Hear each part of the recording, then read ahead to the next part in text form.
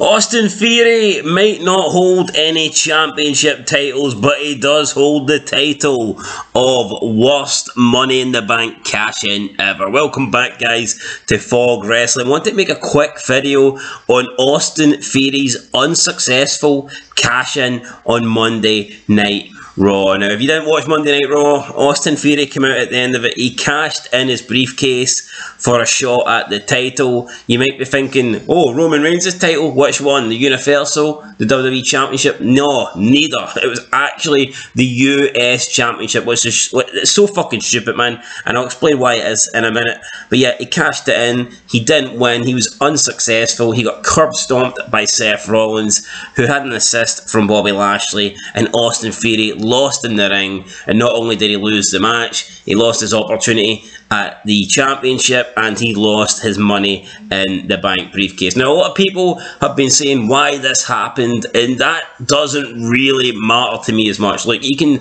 argue why it happened, you can argue why it didn't happen. Triple H obviously didn't want this guy to be a champion, he didn't want him to be world champion, and in all honesty, is Austin Theory ready to be champion? I don't think so. Definitely not. He's not a world champion. Maybe he could be in the future, but right now, this how's this guy supposed to be a world champion? Especially when Roman Reigns has got the belts. How do you go from Roman Reigns' historic over two-year title reign? How do you go from that to Austin Theory? That the, the answer is you don't.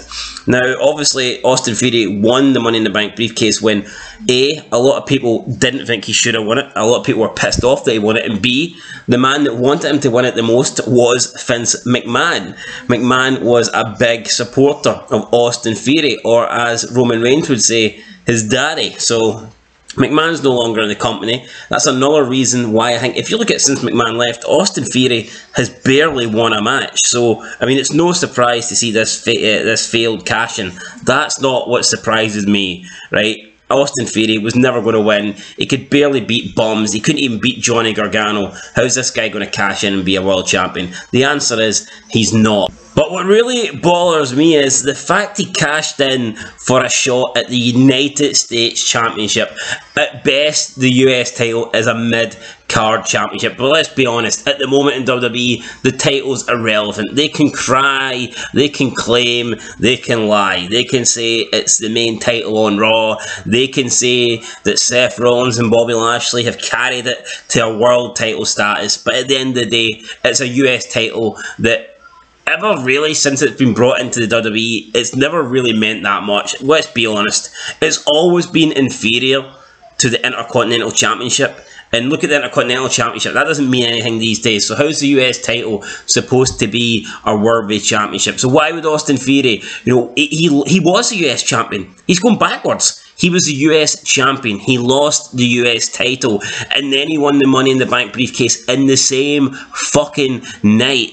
So why would he do that? Why would he have a shot at the world title and decide that he doesn't want that and he wants to cash it in for an opportunity to go backwards and hold a US title that he's already held? It makes absolutely zero fucking sense. It makes no even if you're a retard, which I guess Triple H is. It may, even a retard can tell that this makes no sense. I just don't understand it. The guy was already US champion. He lost his US championship match. He moved on to the Money in the Bank match, a bigger match, the main event scene. He wins the Money in the Bank briefcase. Why would you waste that opportunity at a world title and cash in for a mid card title that you've already held? And you've already moved up. It makes absolutely no. The whole thing is fucking stupid. And Austin Theory, where does he go from here? Honestly, the, the guy's stock is at an all time low. I, I, don't see what he does. I mean, it doesn't matter. Moving on brand's not going to help. At this stage, I think probably the best thing would be move him to NXT.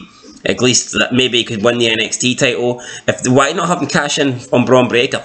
At least you can argue the NXT title is like the main title on the, the brand. It's a world title in NXT, like, and he's never held that belt. So at, at least, and he would have been in a main event feud. So I mean, they could have done that, but what they did do was decide to do probably one of the, and WWE do a lot of stupid shit, but this was bad. This was really bad. So let me know, guys, your opinions down below. Do you agree with this? Do you agree with me? Do you think Triple H's big nose is sexy? Do you love Triple H? Do you think Triple H is the king of wrestling? Because I personally think his WWE fucking sucks.